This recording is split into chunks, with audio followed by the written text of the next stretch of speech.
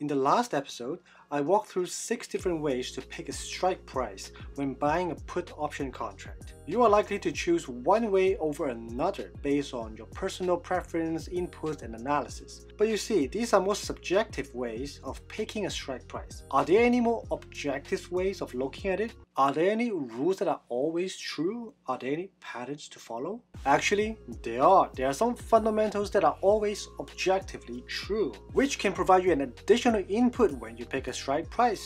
Therefore, in this video, I'm going to use the most user-friendly language to expand on strike price picking.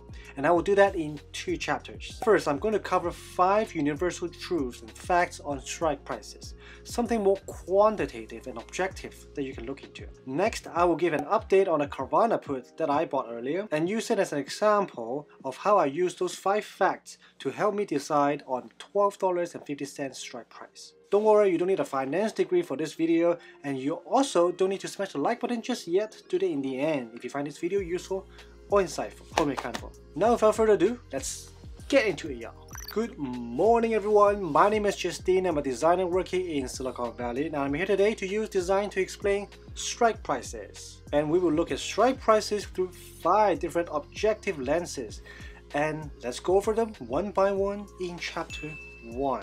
Fact number 1. The first thing everyone should know about is that picking a strike price is picking a probability of winning, a probability of not losing. And that probability represents your chance of winning with all the information in the world that you have. You know the interest rates at this moment, you know all the news about this company, you know how volatile this stock is, etc. Different strike prices have different probabilities of profit.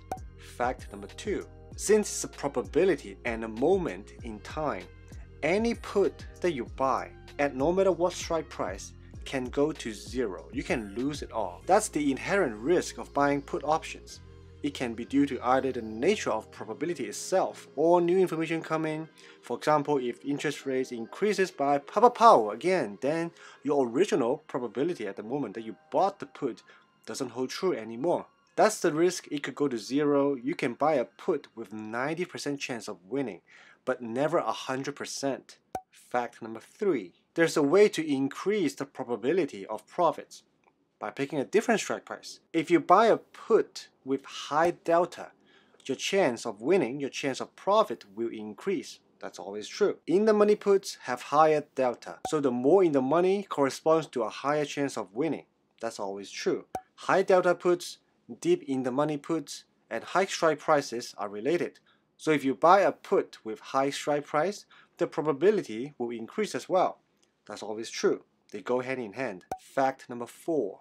It may already sound very simple, and it is, but there are other factors that could affect your decisions. If you buy a put that has high chance of winning, its payout ratio is lower, meaning if you pay $1,000 for a put, you might only make maybe $50 profit, 5% return, rather than a 20% return. They are also more expensive to buy, that's why the 600 Tesla strike put is so expensive. On the other hand, Lower strike prices with lower delta, more out of the money, lower chance of winning are cheaper to buy with higher payout ratio. That's the give and take. You win some, you lose some. Among these three things, probability of winning, cost, and payout ratio, those are objective facts.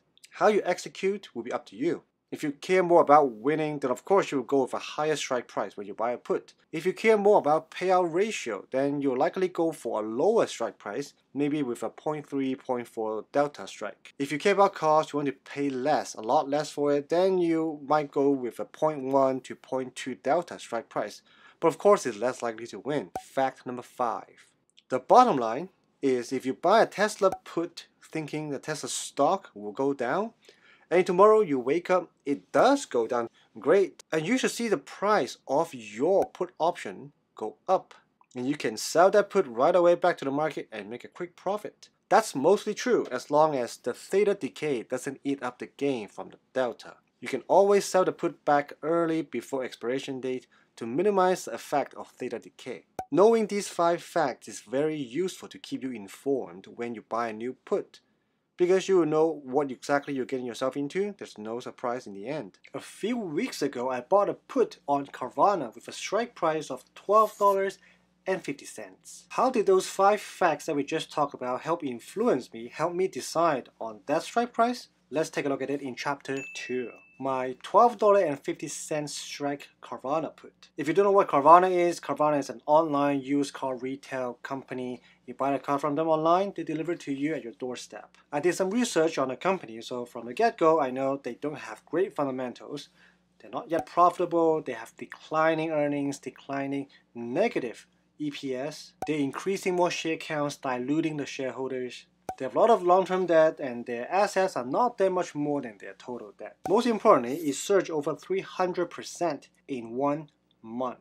So I definitely think at that point in time, it was very overvalued. So if we map my Carvana put to all those five facts about strike prices, here's what it looks like. For the first fact of strike price about probability of profit, I've done my research, I know Carvana has bad fundamentals, so time will eventually correct the stock. That's why I chose expiration date to be June, so I have a few months to wait it out, let time correct it. And therefore, no matter which strike that I put, my probability of profits should be pretty high based on that analysis. And that reasoning also maps to fact number three. I don't need to go too high of a strike, too high of a delta, too deep in the money. Because of its bad fundamentals, it should already gives me a pretty good chance of winning, even when I chose an at the money strike or a little bit out of the money strike price. The bad fundamentals of Carvana also work for fact number 5 as well. Because of the bad fundamental, because it has gone up so much, so overvalued in the past month, it's going to go down, it's going to crash time, it's going to correct the stock. So if the stocks go down, then it's okay for me to buy a slightly out of the money put. And for fact number two, I already know, I already accepted the fact, the risk that my put can go to zero. I'm okay losing that $440 cost when buying it. So that's okay for me. For fact number four, I opted more for cost because I don't want to spend too much on this small play and I care less about payout ratio, the probability will be decent based on my analysis. So 440 is about the cost that I'm willing to pay for and that I'm willing to lose. And all those led me to deciding on a $12.50 strike price that was two strikes out of the money at the time that I bought this Carvana put. And it seems like I was right, I bought the Carvana put on February 2nd, 2023. Since then, the underlying stock has been dropping. Then the Q4 2022 earnings came out about a week ago and it missed Wall Street's expectation by a wide margin. So the stock tanked another 20%. My put price went all the way up to $640. So if I sell it now, I will profit 200 bucks and a 45% gain in a month. Pretty cool, huh? My put doesn't expire until June, so I do have some time to wait for the stock to drop even more. Combining 6 different approaches from my last video and these 5 facts from this video, congrats, you are more knowledgeable than you were 10 minutes ago on picking a strike price on buying puts. If you learned anything new, destroy the like button down below to help support this very small channel and consider subscribing so you don't miss any useful, user-friendly finance videos. To me, before buying a put, it's really important to understand delta, theta, in the money, out of money, intrinsic, extrinsic value, and you know all those have something to do with strike price and they're all interconnected, one influence another? If you don't, no worries because I've used my best design thinking and craft to simplify all those concepts in these videos for you. Check them out right there.